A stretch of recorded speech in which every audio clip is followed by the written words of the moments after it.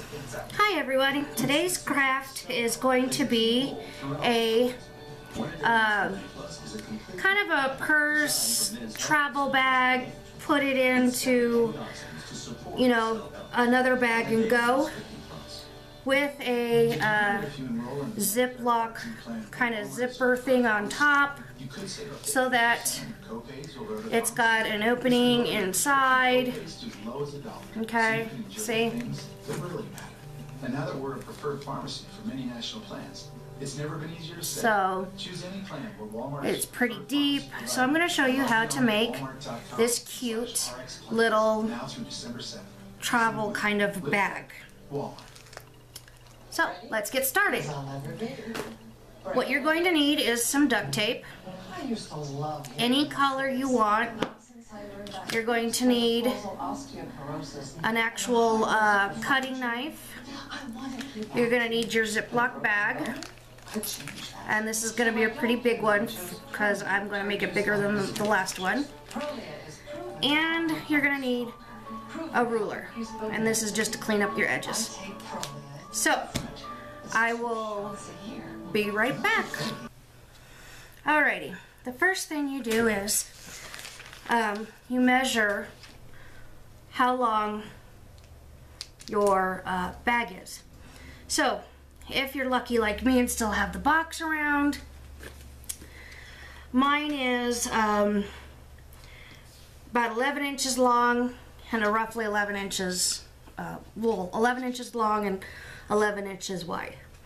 So then I'm going to make two strips that are 11 inches uh, wide.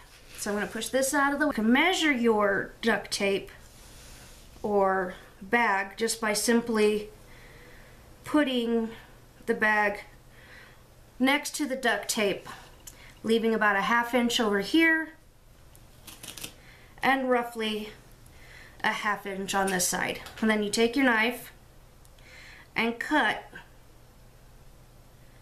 as straight as possible. Okay?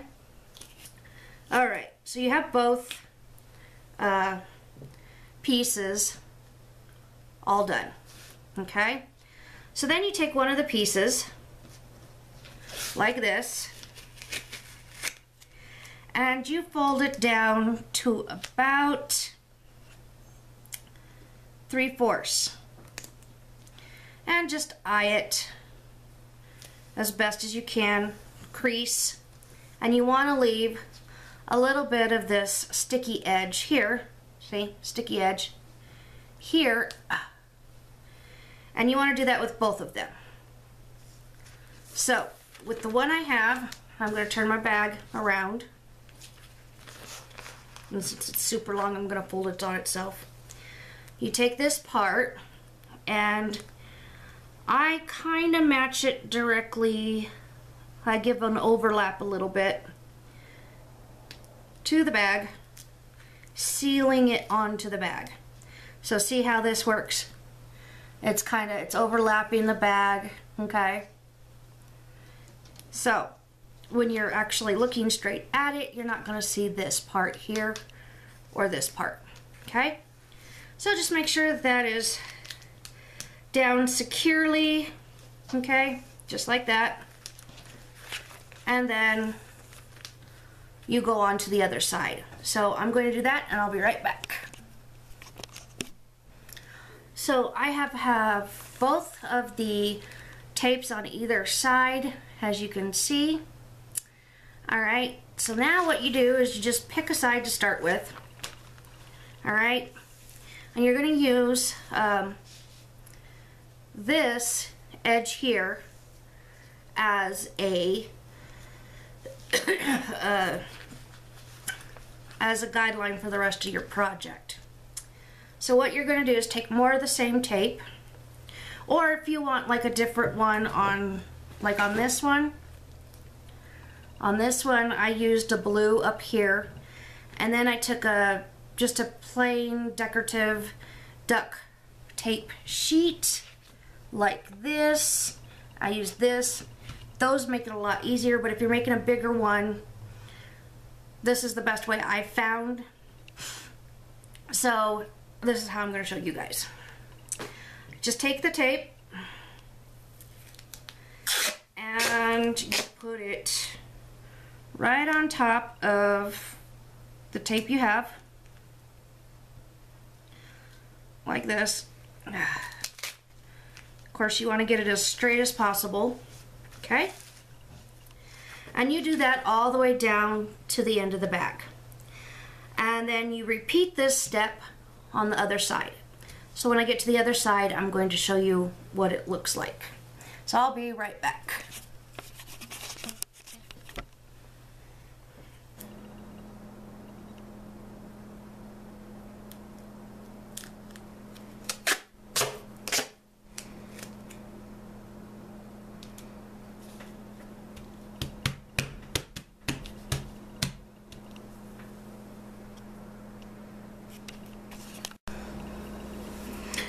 Alrighty, now I have this edge where I want it and how I want it to look.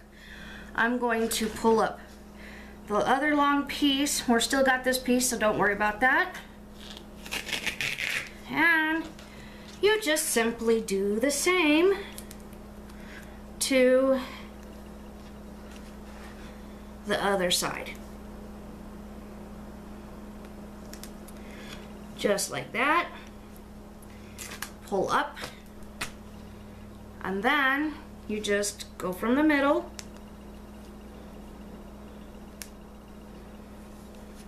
Okay. Go from the middle. There we go. Now you just trim off the edge just like that.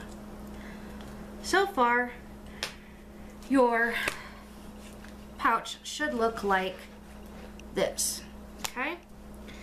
Now it's time to decide where you want this zipper. Well, I'm a right-handed person, so I always unzip from this side. Okay, so I'm gonna put the zipper in my left hand because it's my left hand. It's the right hand to you guys. It's left hand for me. So I'm just gonna lay that down. I'm gonna pull this strip up.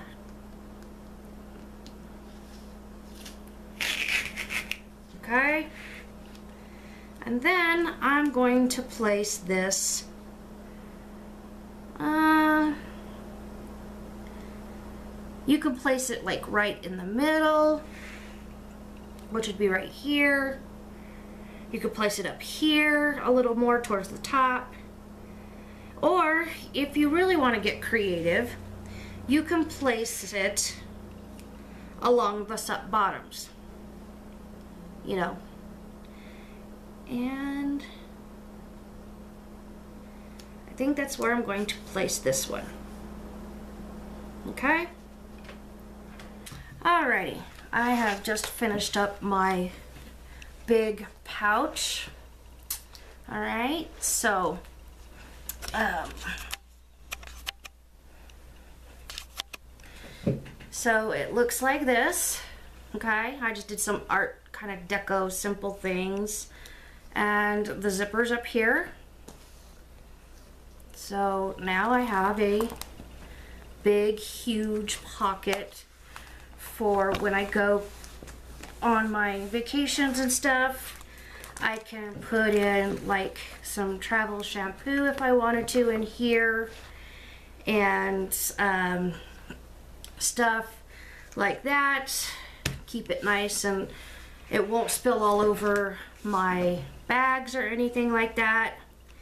And there's one. Here's a smaller one. Here's the smaller one that kind of goes with it. So I hope you guys enjoyed yourself.